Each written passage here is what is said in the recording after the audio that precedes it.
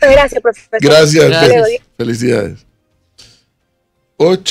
8.43 minutos y tenemos más visitas. Oiga, la visita, Leonardo, la visita nos está dejando la cabina olorosa. Huele rico. Huele rico, o ¿no? ¿Usted, no, ¿A usted todavía no siente olor? Yo todavía tengo Ay, problemas de ¿Todavía olfato. está con el COVID? Sí, señor. No, joda. No, no tengo COVID. Tuve COVID hace cuatro meses y sigo con temas de olfato. No, hay Sí. un olor en la cabina refrescante. Así que si huele gas en algún lugar tampoco. No, gas no. huele como a rosa, algo así. Yo no sé, porque yo no sé distinguir olores, pero huele rico. Eh, Está aquí con nosotros Angelina Vargas, jefa de capacitación electoral del Tribunal Electoral. Buenos días, bienvenida. Buenos días, muchísimas gracias a este espacio tan escuchado eh, en el país. Profesor Cabrera, para mí es un honor estar de vuelta con usted aquí. Eh, luego de la elección de general. las del- elecciones, así es. Ahora eh, estamos aquí Pero hoy trajo olor rico, hoy trajo, huele rico. hoy. Sí. Sí. y la otra vez no. No me acuerdo, no me acuerdo. A lo mejor cambió, cambió de... ¿Esos que son cremas o son perfumes que son? Yo no es sé. que al porque- final no, no. Yo creo que, yo creo que es un perfume. Es perfume. Yo no sé distinguirlo uno del otro.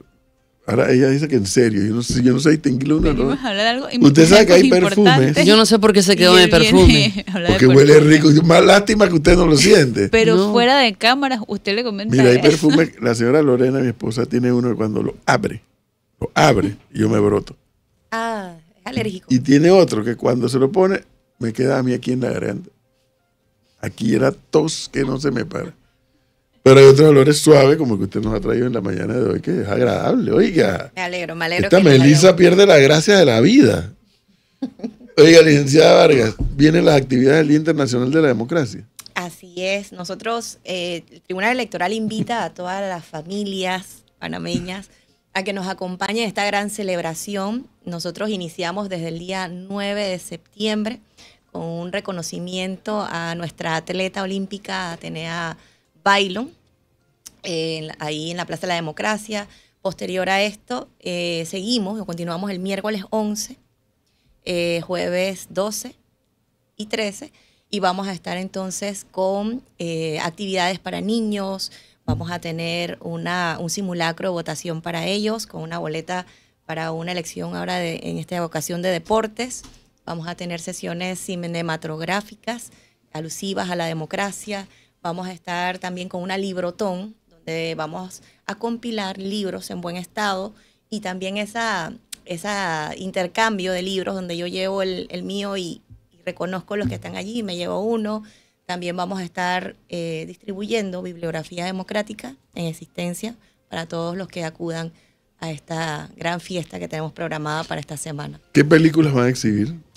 ¿Qué tipo Eh, de bueno, la historia de la democracia. el- eh, vamos, tenemos una serie de documentales que vamos a estar eh, exhibiendo en esas sesiones, también cortos, pequeños, de videos que han estado desarrollando estudiantes alusivos a la democracia. Es una serie de, eh, de información que vamos a estar brindando para ilustrar a los niños y jóvenes que van a estar acompañándonos. Vamos a tener dos foros también, liderizados por ASPADE, donde ellos van a tener dos temas muy interesantes, que es el futuro de la democracia en nuestro país y también el tema de las reformas electorales. Veo que es una semana completa de, de actividades eh, dirigidas a diferentes tipos de público. Eh, ¿Hay espacios que requieren inscripción y hay espacios que puedan ser de, de asistencia libre? Bueno, nosotros como hemos venido construyendo con el Ministerio de Educación, nos estamos aliando con ellos para invitar a colegios, eh, el tema de los ASPADES con las universidades, eh, más que todo lo estamos haciendo de esa forma, pero igual estamos invitando a todos los panameños a que nos acompañen sin ninguna restricción hasta el momento. El gran día va a ser el domingo 15, decretado en el 2008 por la ONU como el Día Internacional de la Democracia. Vamos a tener un desfile donde van a participar colegios oficiales. Eh, ellos van a estar pasan- saliendo desde la cinta costera, donde está el parador eh, frente al centro Sullivan. Eh, tomamos, eh, subimos por el, el viaducto y bajamos a la- y terminamos en la Plaza de la Democracia. Ahí ellos van a hacer sus presentaciones finales, van a escuchar también a la ministra de La Educación Plaza de la Democracia, allá en, en Ancón. en la sede principal de... Sí, señor. Ahí va a estar Tiro largo.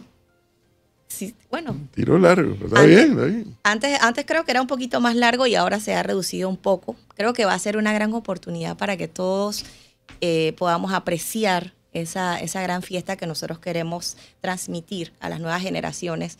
Esta celebración que nosotros en nuestro país todavía tenemos eh, eh, la democracia como gobierno. Eh, también ese día, el primer acto cultural cívico va a estar con, las, con los colegios, las palabras de la ministra de Educación. Posteriormente a eso, eh, vamos a tener un segundo acto que nos van a acompañar bandas independientes que van a estar posteriormente a los colegios también brindándonos esa, ese despliegue patrio que nosotros queremos tener para ese día. Si hay una escuela, un grupo de, de estudiantes o padres de familia inclusive que nos escuchan y quieren participar de las actividades que se van a desarrollar en la semana, ¿cómo pueden hacer? Ellos se pueden acercar a la Plaza de la Democracia, es completamente abierta. Eh, sí vamos a tener eh, la plaza para los colegios formarse y para poder realizar su presentación final allí en, en la plaza, pero igualmente a los alrededores van a estar, y es grande, para que ellos puedan participar. También alrededor de, o a lo largo de todo el espacio que vamos a estar eh, caminando en el desfile, también ellos pueden estar, como se hace un desfile en los laterales de, la, de las aceras. Imagino que la una de las actividades va a incluir el museo que hay en el Tribunal Electoral. Un museo, pero espectacular museo que he podido recorrer en una o dos oportunidades en donde los estudiantes tienen la oportunidad de poder transitar por él y recorrer la historia. todo lo que es la evolución de la cédula y todo este es, eh, las- todo lo que tenemos ahí para poderle demostrar a los estudiantes que nos van a estar acompañando.